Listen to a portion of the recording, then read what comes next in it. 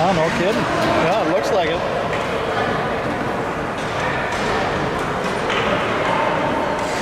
Two minutes for